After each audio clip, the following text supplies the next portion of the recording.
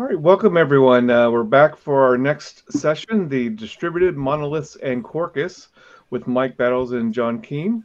I'm going to turn it over to the two of them and let them let them run with this great session. Uh, just as a reminder, if you have any Q and A, please post it into the comments section, and we'll try to field those at the end of the session if there's time. And as a reminder, if you um, would like to go back and watch this or any of the other sessions, they will be posted to the Red Hat Developer YouTube channel in the coming weeks. It'll probably take a couple of weeks. It might be into the first part of January, just uh, with the holidays pending here. But look for that. In, that so if you, know, you weren't able, if there was another session at the same time you wanted to attend, you'll definitely be able to go get that information as well. So with that, I'll turn it over to, to Mike and John and have Great. at it. Thanks. Thank you, Mike. All right, welcome everybody. Uh, this is Distributed Monoliths and Quarkus, how to properly modernize legacy workloads. So 15 years ago, we were both in consulting prior to the Red Hat acquisition, working on legacy modernization. So John, just to kick things off here, what is the oldest monolithic application you've ever worked on? Ooh, that had to have been a ColdFusion app uh, it had SQL queries right in the UI. Gross. Or, I got another answer, moving business logic out of stored procs into Java services, making them easier to reason about, debug, deploy, and actually were more performant. And we actually had to prove that with real data, so I'm not just saying that. What about you? Yeah, hands down, uh, we had a legacy Sybase EA server Corba application that we converted to JBoss on OpenShift. And that was a really great story of how we were able to take a very monolithic code base and refactor it to work better with containers. But then we had a chance to work together on a value stream aligned team in 2014, a small 10 person nimble team building microservices with a front end. The team owned the end to end feature delivery. Good times. I remember in, those. Yeah, indeed. but even that project was a modernization of a monolith. Um, we've always been doing legacy modernizations, but legacy looked a lot different back then. Yeah, the definition of legacy changes. The definition of modern is a constant moving target. So I think an important insight here is to understand that the the fact that you're on a continuous journey, never really hitting a point destination. There's a great quote here by Mr. Martin Fowler himself. And I think a necessary prerequisite for all of this is good code quality. Any fool can write code that a computer can understand, good programmers write code that humans can understand. I really love that. It's communication. Code is communication for your future self, your future maintainer, uh, and future people coming in to fix bugs and add features. So, really being clear in the code is so critically important. And to expand on that and maintain and enhance and support in perpetuity. And really, this talk is about this concept of technical equity. Everybody talks about technical debt, but technical equity is the value of the old systems that need to be maintained, regardless of the choices that were made at the time. So, as software engineers, there's much we can learn from other engineering disciplines. I often look to civil engineering due to the similarities between architecture and architectural approaches. So, this is the Golden Gate Bridge, which you may or may not know. I did know that. Ooh. So, there's a rumor that painters paint it completely in one direction and then turn around and come all the way back, looping back and forth forever. so while not completely accurate, it's actually pretty close to the truth. And the truth is that while it's not a continuous loop, it is painted continuously. The water and salt from the sea air causes rust and steel corrosion, causing a need for this constant upkeep and maintenance. And the paint was actually changed a couple times too. In 1980, there was more corrosive resistant paint that came on. And in 1990, well, they figured out lead wasn't good in paint. So again, they had to change and use a whole new system of paint and the processes to back that up. Now, while painters get all the glory, you can see this pretty impressive here, uh, about 28 painters in all, they actually need cross functional teams to perform this painting job. These teams consist of engineers, ironworkers, operational engineers, electricians, laborers, and even carpenters. So, why do I say all this? What can we learn from all this? Well, how do we do things like that with continually changing requirements, dynamic market forces, new privacy data regulations, new laws in our business domain, new frameworks, new tooling. So, pause here for everyone attending this talk here today. Take a moment of self reflection and ask yourself how is your organization continuing to paint the bridge? How do we continue to do this in the face of new policies, new technology, new paint, new processes? Modernization is a continuum. You're never truly done. You're always painting the bridge. And if you stop painting the bridge for too long, it rusts again. If you stop modernizing for too long, you get regression bugs, delivery times take longer, and code begins to churn. To avoid stagnations, organizations need to figure out their key metrics for success. You cannot improve or change what you do not measure. This slide is from the Konveyor community, an open source community sponsored by IBM and Red Hat that is chartered to help organizations modernize and migrate their existing workloads. Lots of tools and techniques to help, so you should definitely check them out. But that community reported uh, this this survey, the community self-reported reliability and scalability as the number one and two ways to measure success. Metrics are paving the way for the need to change. All right. Okay, John. So we all know what we're here for, and that is Quarkus. so let's get into it. Okay. What is All Quarkus right. and why is it so exciting? What is Quarkus? Well, Quarkus is a cloud native Java framework crafted from the best of breeds Java libraries and standards. So, being a modern Java framework is especially important. Java has stood the time, the test of time over these number of years and has only gotten better and better. Now, with Quarkus, if you're writing an application destined to run in the cloud, you can use Java, meaning you don't have to reskill, retrain, or rehire your team and you can use your existing knowledge and investments to start writing faster, slimmer apps today. So that's the what. Why is Quarkus? Well, it's to bring Java into the cloud. Going to quote directly from Quarkus.io. Quarkus.io. Quarkus was created to enable Java developers to create applications for a modern cloud native world. So let's go into how it does this. First, boots extremely fast and its internal components are all optimized for speed, even compiling down to native machine code. So you can see here the traditional cloud native stack versus Quarkus running on OpenJDK, and then at the top there is Quarkus using the GraalVM, aka compiling down to native machine code. Now, it also is slimmer, smaller memory footprint.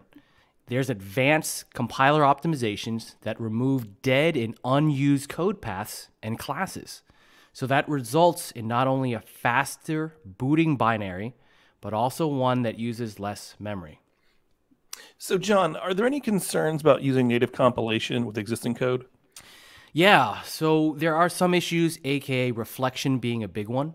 Uh, if you're using a third party library that you don't necessarily have access to, actually, let me take a step back. Because of the optimizations that it does, it strips out code that it, it identifies as not being used, aka uh, at compilation time. So at runtime, when you're using reflection to actually load something else, use something else, Quarkus isn't aware of that. The compilation compiler isn't aware of that. So there's techniques we can do, like adding annotations to say, hey, I'm going to need this, leave it in. However, if you're using third-party libraries that you you can't necessarily jump into the code and add those annotations, then you might have to stick to the kind of traditional OpenJDK method there, pictured in the middle. Okay, cool. So, how about developer productivity? Yes, both us being developers, this is near and dear to my heart. So, developer joy is an important concept, an important aspect of Quarkus. There are some things that we want from a modern framework, right? Live reload is the number one. I don't want to sit around waiting for the compiler to finish so I can see my changes. Quarkus has got that. Convention over configuration. I don't want to spend a lot of time writing configs. I want sensible defaults. I want things to work out of the box. quarkus got that. Dev UI, it's a way to visualize the extensions that you're using and some of the aspects of the code to make it easier to see what you're actually doing. And the last one I really like, dev services, aka test containers. An example, let's say I'm using a database.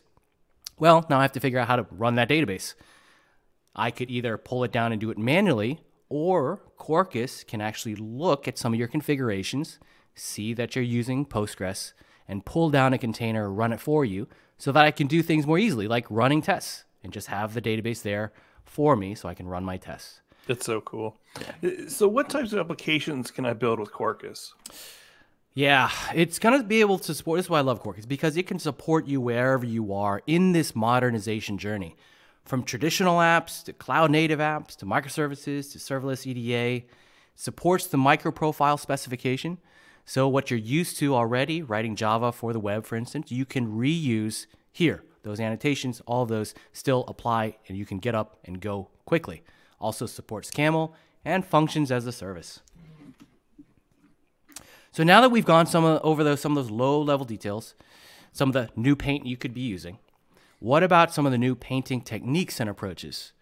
Mike, what are some of the high level architectural approaches that we can use beyond just the language and runtime? Great. So there's this great quote here from the Monolith to Microservices book by Sam Newman that most people don't start from nothing. Most people don't start with a blank sheet of paper when it comes to building a system. So it would be naive of us to just say you can go and do everything in Quarkus and you're totally uh, modernized. So Gartner coined these five R's, then AWS came around and made six or seven R's. But really, what they are are they are patterns that document various ways to migrate legacy workloads to the cloud. And for us, there are three that are relevant to our conversation rehost, replatform, and refactor. So, John, tell us about rehosting your legacy application.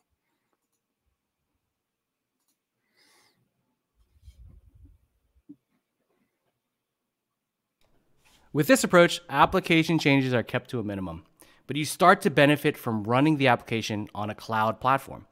So, some examples are moving from a private data center to a public cloud environment, or migrating from VMs onto OpenShift virtualization, where you can run VMs and containers alongside each other.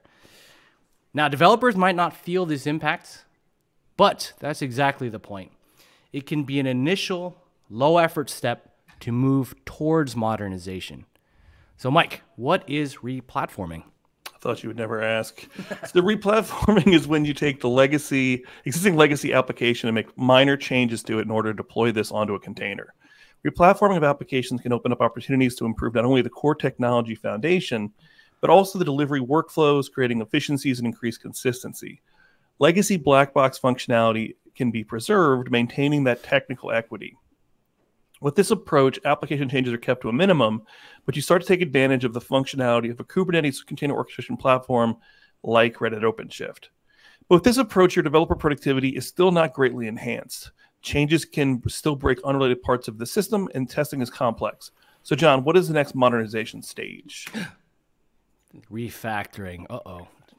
Rewrite everything. No, just kidding. After you've rehosted and replatformed, that next step usually is to start modernizing the application itself, looking at the code. Now, this is probably happening in some shape or form already, right? You're fixing bugs, you're adding features, you're learning how to do things better, you're refactoring to update the code for the new context of things that you're constantly learning. And it's a big topic, so let's put some time to it. So, Martin Fowler has a perfect quote from his book about refactoring. That's twice two Martin Fowlers here. Refactoring is a disciplined technique for restructuring an existing body of code, altering its internal structure without changing its external behavior. I think Mike has the book. Oh yeah. Oh Already- yeah. Oh yeah. All right, but let's zoom out and talk about the architecture supporting that refactor. Okay, let's put on our comp sci 101 hats here. So the terms coupling and cohesion refer to the concept of the interrelation between code modules. So this was first coined in the book Structured Design by Yourdon and Constantine, which has this funky green cover. Coupling, an abstract concept that is the measure of the strength of interconnection. How much of one module must be known in order to understand another module? Cohesion refers to the degree to which elements in a module belong together. High cohesion means the elements are closely related and work together to achieve a specific goal or functionality. So, good is high cohesion, low coupling, and we have a couple examples of this. All right. So this is an N-tier application, probably an architecture that a lot of you here are familiar with. We have the database tier, the backend tier, and the user interface tier. This is a reflection of Conway's law. We tend to organize our systems in the same way we organize our communication, aka our software looks like our teams. A common byproduct of this architecture tends to be that changes in one tier have a tendency to impact the other tiers. For example, a new field on the front end requires the back end to be aware of this change. And then, of course, to persist it, you need a new database column. Your simple change now spans every tier. It can be said that it can be said that these n tier applications have high coupling between tiers where minor changes propagate through the entire stack and low cohesion of business functionality where all tiers are aware of all aspects of every domain. Now let's compare and contrast that with something like a microservices architecture. So microservices uh, are services that are modeled around a specific business domain, and they encapsulate and own their own data. Think good OOP, object oriented programming, keeping data concerns within the business domain and not letting them leak, and only making that data available through well defined interfaces. Now, this necessitates practices such as strong interface, think interface first driven development, and also outside in thinking. So you can see here the changes we're introducing in one service tend to stay in that one service. So it can be said that there is low coupling between services where only changes to the interface impact other services and the changes are kept local to that service.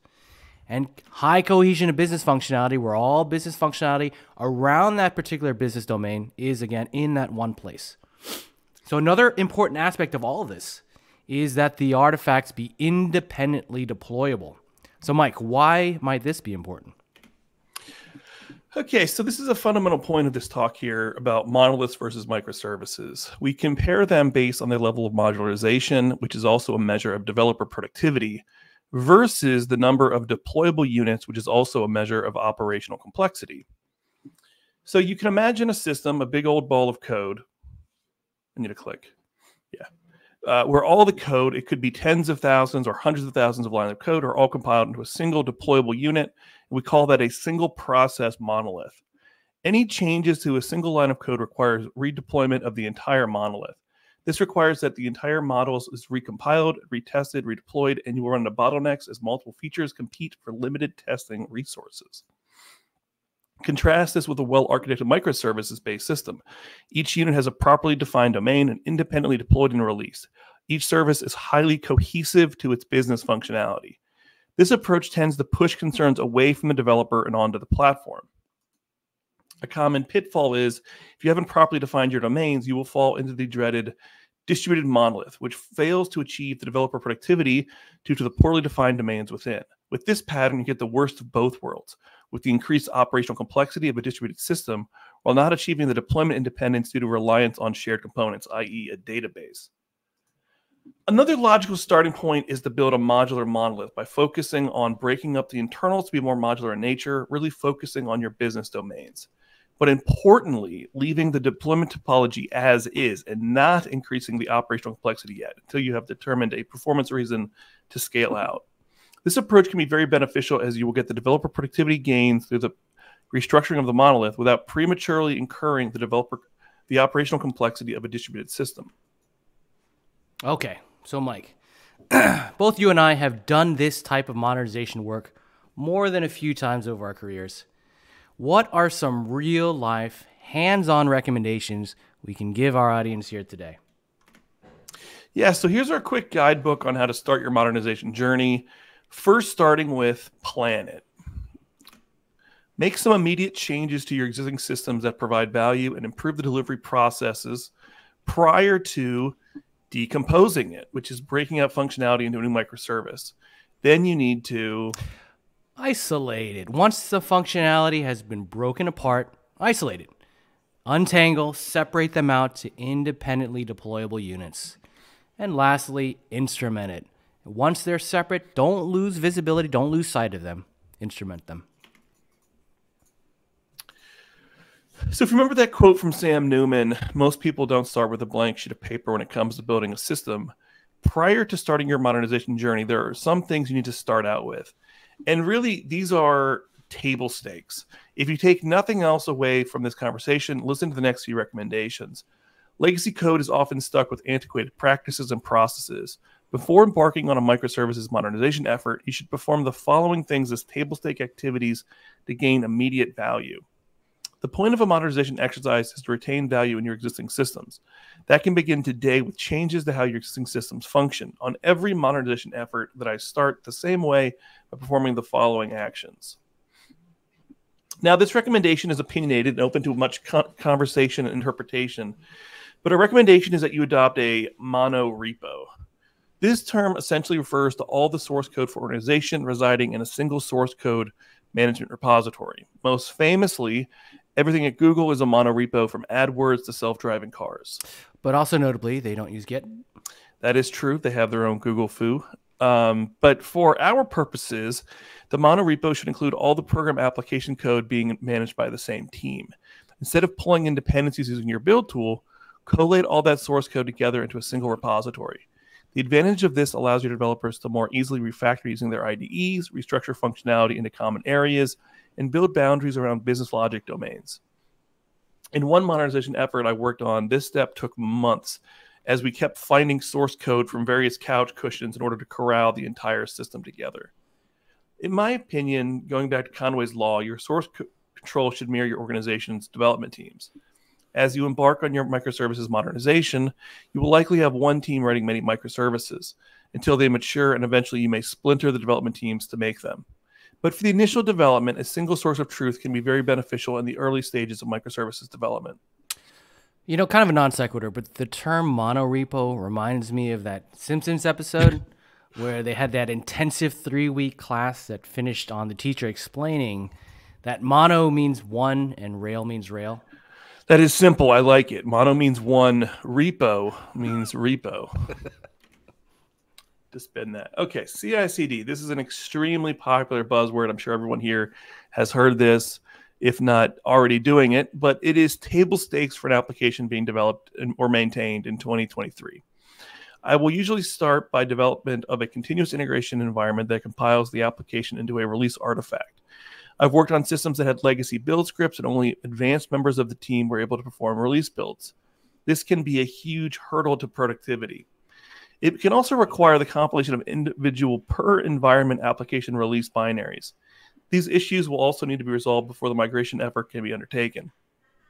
This also implies that you are using a modern build process, i.e., excuse me, Maven for a Java based applications.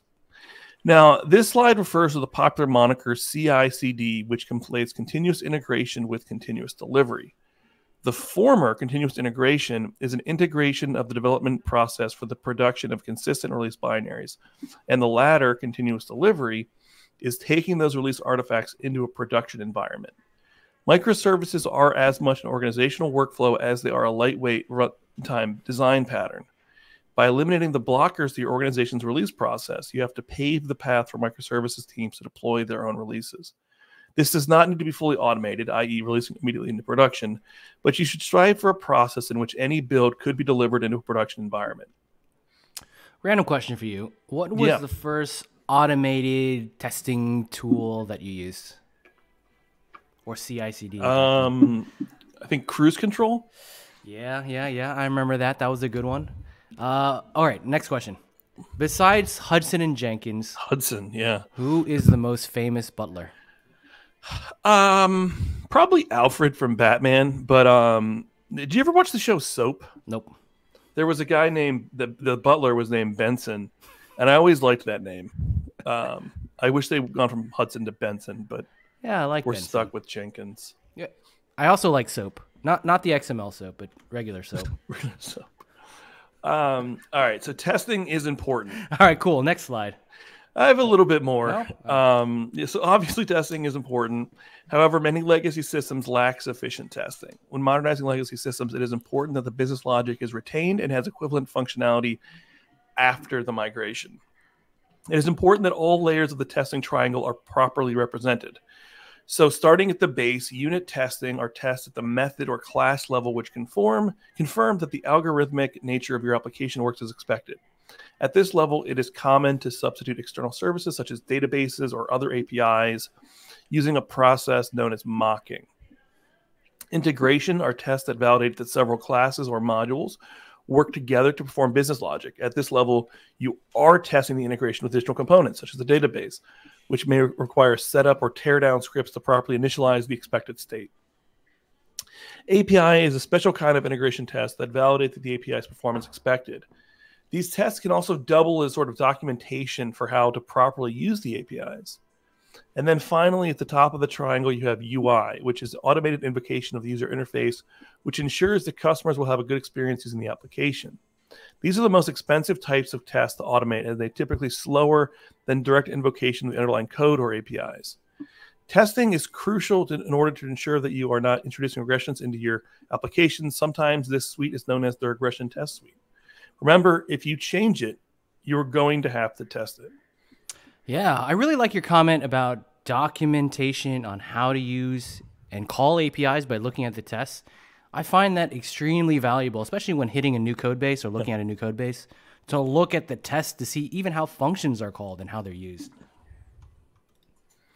Yeah, definitely. Tests can definitely be a source of documentation. Okay, so once you have performed these steps, you've restructured your code into a monorepo, you've developed a CI/CD pipeline, and you've enhanced the robustness of the automated testing. You are finally ready to start decomposing your monolith into microservices.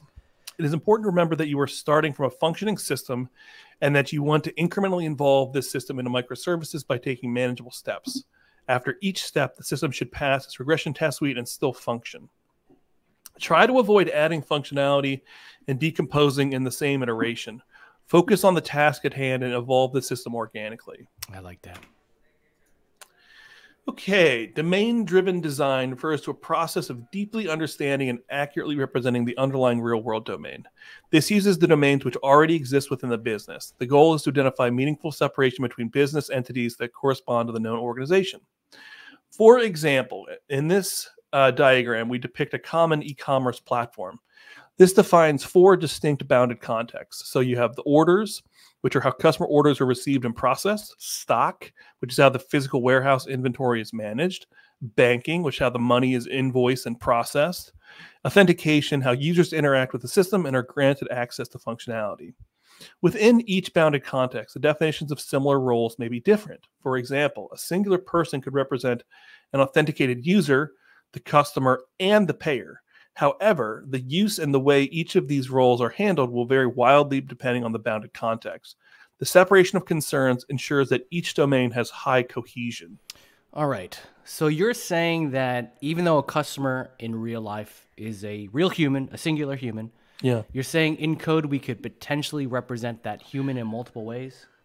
Yeah, that's exactly right. Um, you know, IRL, humans are multifaceted. You could be a customer, an employee, a coworker, a brother, etc. In each context or domain, you will show up in a different way based on social norms. In, in the same way, in each bounded context, an individual will show up in different ways based on that context. Hmm, I like it. Start small. So, this is a quote here.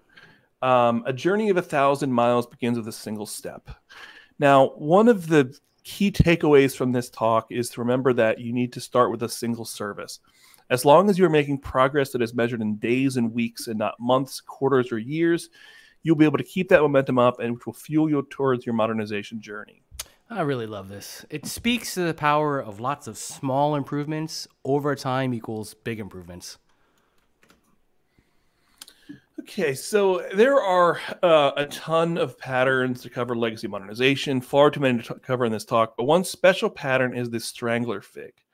In nature, the strangler fig is a special type of plant that grows around a stronger, more mature plant using it for support. In software, this term was popularized by Martin Fowler. That's the fourth Martin Fowler quote, third. Love Martin Fowler around here. It depicts the incremental replacement of a legacy system by building a new system around it gradually replacing the legacy system until the old system is deprecated. In contrast to this, a popular approach is to just start from scratch and do a greenfield rewrite of existing system functionality. But this can be very risky and costly as you may not re implement the business logic to function the same way as before, which introduces regression or other bad things to your business. So, in order to reduce the risk, you can implement a strangler fig to steadily provide value with frequent iterations even in a net new system should be designed in such a way that they could be augmented with a strangler fig pattern in the future to avoid future rewrites. So, this is a very cool looking tree. Have you ever seen this tree in real life? I don't I don't know. I don't think so. If, and if I did, I probably didn't realize what I was looking at. Fair. All right, so once you break apart the functionality, next we want to isolate it. So don't let that functionality or data bleed into each other. So let's start with data. While it might be tempting or easy to have a single database with multiple service updating it, don't avoid that temptation. Properly carving out a business domain means that a single service is responsible for a single business domain's functionality and also is singularly responsible for that data. In this way, the data can be properly re- represented in a way that makes sense for that service and all of its business rules properly enforced. In this image here, the catalog microservice should not be allowed to update the basket's data. Yeah, and again, sharing of databases is probably the number one anti pattern with microservices. And it may be a sign that you actually have a distributed monolith and not proper microservices. Very, very true. So the next strategy for isolation is to employ something called an API gateway. It's a single entry point for all your APIs. The idea here is that the actual APIs being exposed by your services can and will most likely change as a result of consolidation or creation of new services, most likely due to your modernization efforts. So, by adding an abstraction layer in the form of an API gateway, we can shield ourselves from these low level API changes. Also, adding an API gateway allows us to move our cross cutting concerns like AuthN, AuthZ, rate limiting, or other policies that you may have to a centralized location before any real service is hit. Lastly, the API gateway can act to group and expose the underlying services in a shape that's most meaningful meaningful for your users. So let's say you have an admin user base. You could potentially regroup all your admin related functionality behind a slash admin URL and wrap policies around this. And similar to an API gateway is the concept of a service registry, which can document your services and enforce schema validation on incoming requests and perform service discovery with a catalog that developers can use when integrating with new APIs. That's true. There's a whole ecosystem that can yeah. be formed around APIs. Next, anti corruption layer. This is a really fancy term, but in simple words, it's the idea that one business domain should not impact or corrupt another. I think this makes the most sense in the example, which we're going to walk through here. So in this image, we have subsystem B on the right, and it's interfacing with subsystem A on the left. Now, say subsystem B was written many, many years ago, while subsystem A on the left is part of the modernization effort and has been fully converted into new microservices with new business domains.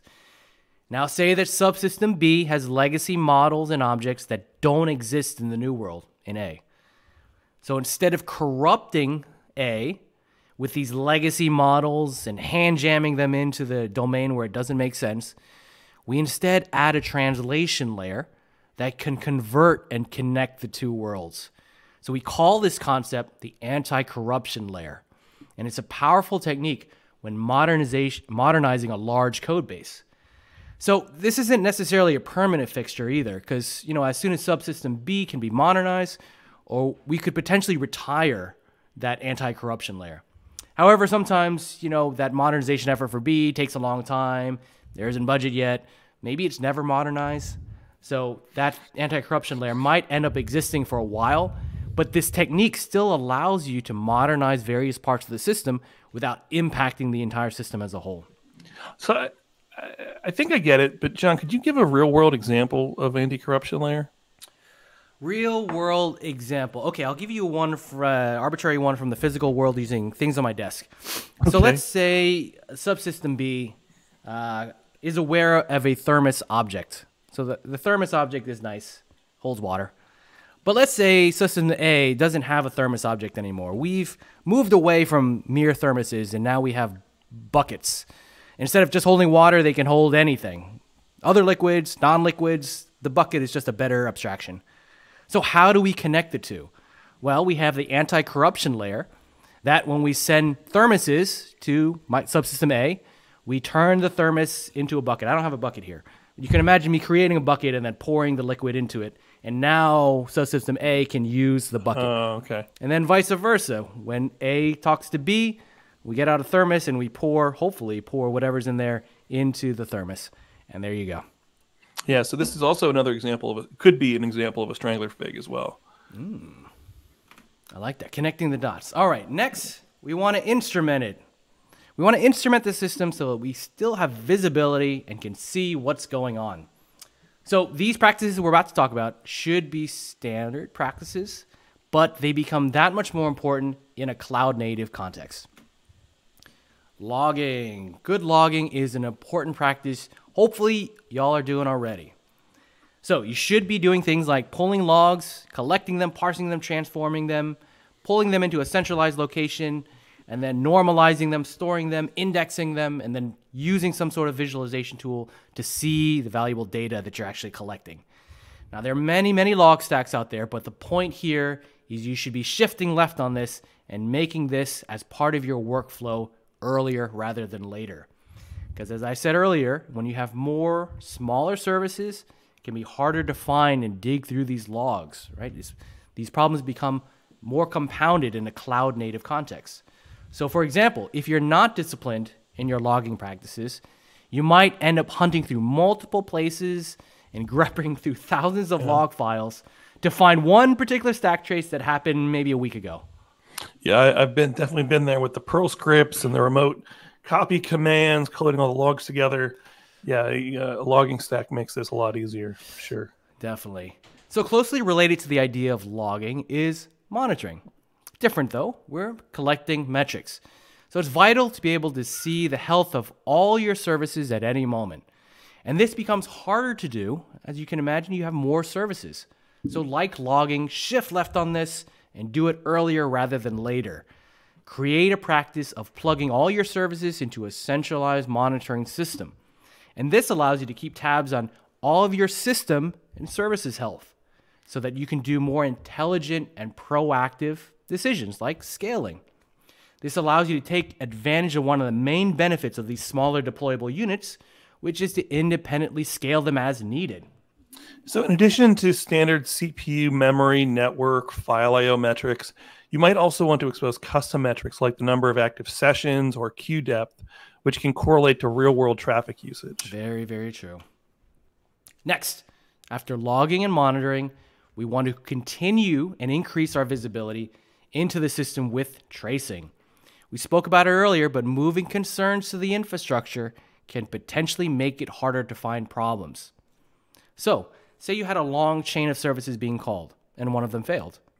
Which one failed? Do we know why? Maybe the app crashed, but the platform has already self healed and spun up a replacement. So, having good tracing and being able to visualize what services are being called and which ones are failing, succeeding, and when is critically important. This also lets us do things like root cause analysis. It's probably worth a mention here that uh, the OpenShift container platform comes out of the box with an integrated logging, monitoring, and tracing stack that all play nicely with Quarkus. Love it, love it. All right. So, this was our guidebook to how to start your modernization journey.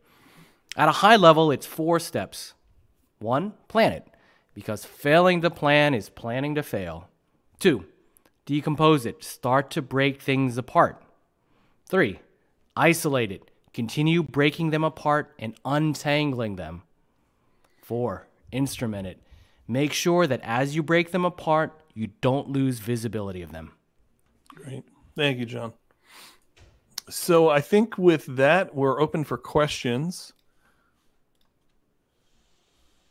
I don't see any in the chat. I've got one for you, John. What color is the Golden Gate Bridge? Yes. I've got this committed to memory. Just kidding, I don't. It's actually called International Orange by Sherwin Williams. Uh, if you wanted to mix it yourself, the CMYK colors are cyan is 0%, magenta is 69%, Yellow is 100%. You probably guessed that. Uh, and the black is 6%. Cool. I'll be running out to the paint store right after this session. Actually, two more sets. We have a couple more to go, so we'll wait till then. Yeah, I don't, I don't, I'm not seeing any Q and A in this in the session here. So great, uh, great presentation. Thanks, Mike and John, for uh, you know very compelling, interesting session. Um, certainly want to you know, uh, welcome everyone to hang around for our next session, which is going from containers to pods to Kubernetes, help for your developer environments. Or feel free to hop over to one of the other other tracks as well if there's something there that, that may interest you. As a reminder, these will all be available up on the the Red Hat developer YouTube channel in a in a handful of weeks. It might possibly slip to the new year depending on how things go with it, with it being processed on the back end. But again, thanks thanks guys for the session, and uh, we're going to drop the stream for the moment, and then we'll come back on at the top of the hour with our next session. Thanks a lot. Thanks, guys.